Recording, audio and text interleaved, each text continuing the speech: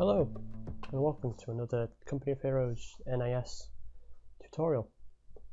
I received a comment, do you know how to do soldiers lying and calling medics and medics carrying soldiers?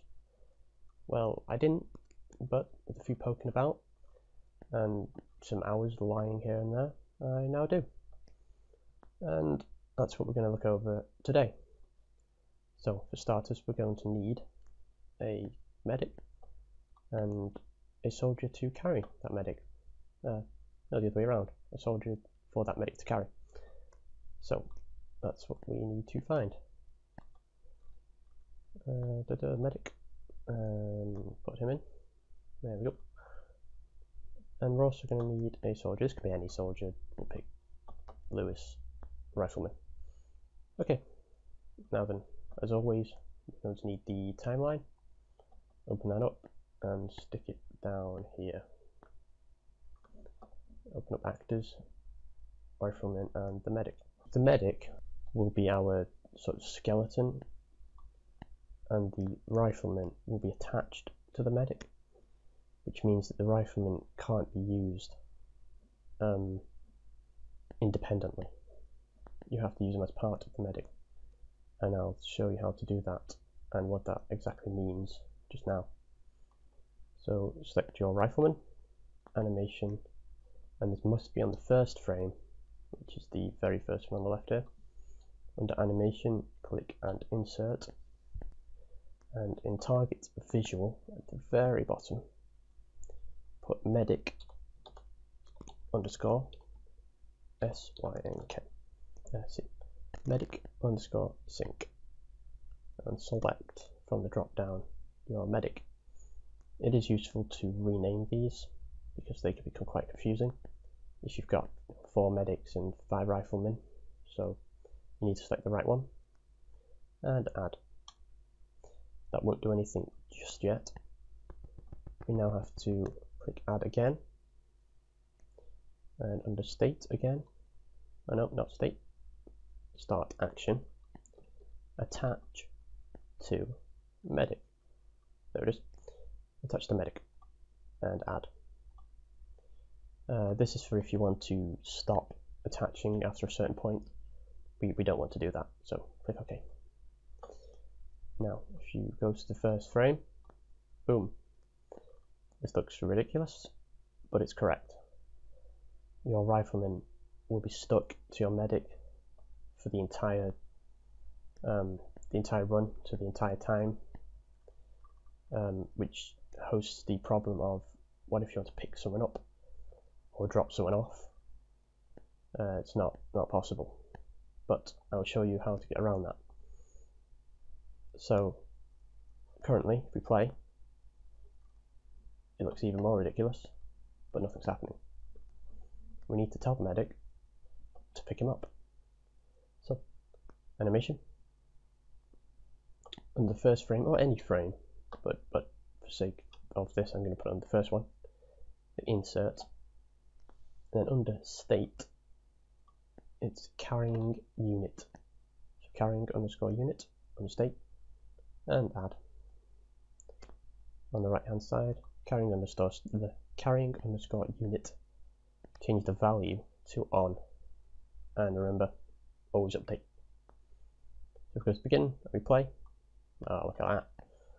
Some acrobatics, and then he carries. Now, they won't do anything in this state, they won't move, they won't fidget, they won't, they will just be stuck as a statue, like that.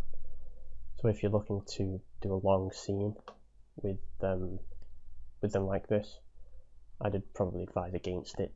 You can make them move, which I will show you how to do just now. So you can move them from here to over here.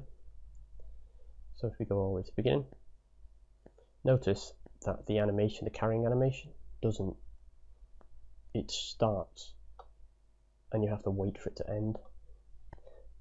And it will also change the pose, which is quite nice. Oops, where did I go? It disappeared, there we are. Now, find the point at which the animation ends. It's about 30 frames. So if we take a look, it's, yeah, it's 30 frames. So at that 30th, say 31st frame, open the position rotation uh, section of the medic and again open position and rotation and you'll need to copy these three keyframes. Hold shift to select multiple ones, control C and then control V. That'll stop the medic from moving here. Now move forward a few frames, let's say I don't know 20, 20 frames. Now go up to the top auto key and move him along the uh, Z axis, the forward, the forward one. You go as far as you like, but keep in mind how long he has. So now turn auto key off, start from the beginning, apply. He'll start moving and we'll hey look at that. An animation. Notice how there's no locomotion anywhere. So he will automatically run from there onwards. And that's kind of cool. Okay, so there we go. So now he's running from A to B. Now you probably want a situation where you'll be picking up a unit. I haven't found a good way of doing that, but what I have found is a sort of, yeah, I don't know, a cheap way of doing it, which involves making a clone. So we just go to the exact unit you picked before. So now you've got two of them. They have to be the same unit, or this sort of won't work. Now, notice that I just click down here. This will stop me from selecting that uh, rifleman. So now I can only select the medic, which is very useful. So once you've selected your medic, go forward. Now, what we need to do is have the medic run from here to here with this soldier not visible. At which point we need him to pick up this soldier. However, I haven't found a way of actually picking up a soldier that's already lying down. So what we're going to do is we're going to pick up this one and then hide this one. So it's as if he's picked picked up the soldier. So to do that,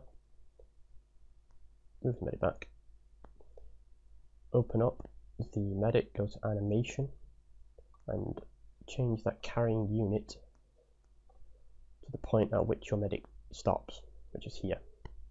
You can actually hold shift and that will allow you, or should allow you, doesn't always work, there we go, it will allow you to move the keyframe. That's very useful. So we can actually move these all the way back.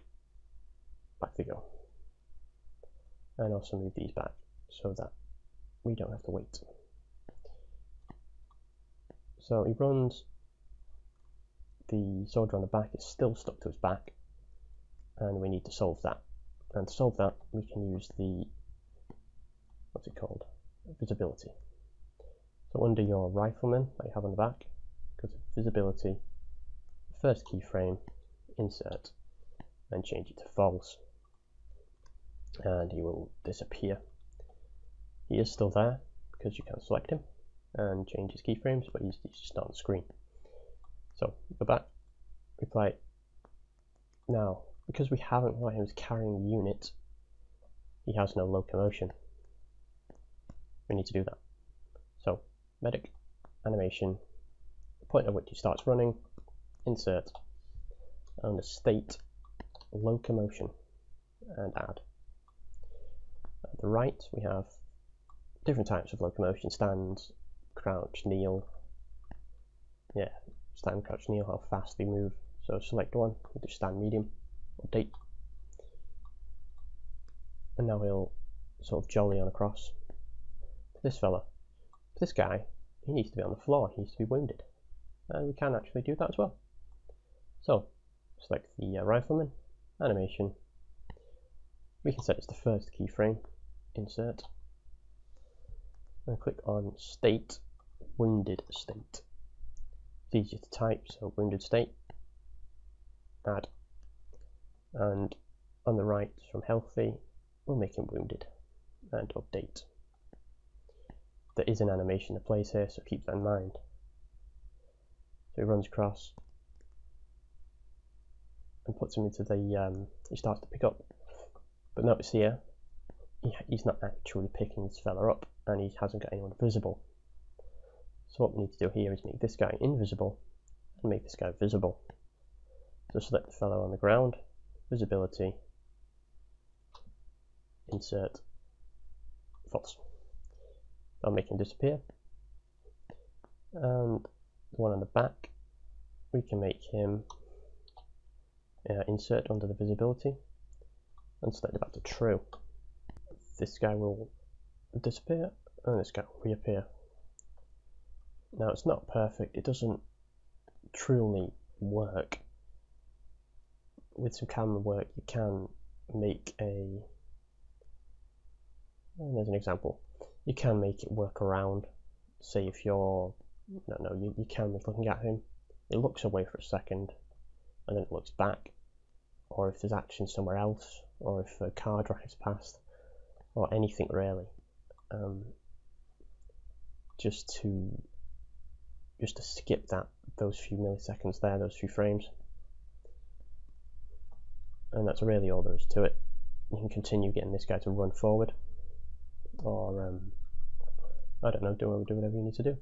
Uh, I'm going to show shorts animation of something I made employing the, the camera trick I was talking about.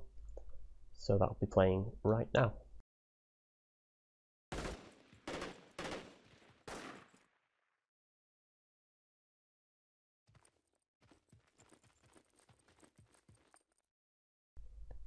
So that was just a short a short video on what you can do. Obviously you can make it a lot better, add some scenery and stuff like that. Um, but if you have any more comments or questions, let me know and I'll try and help you out. Until next time, bye!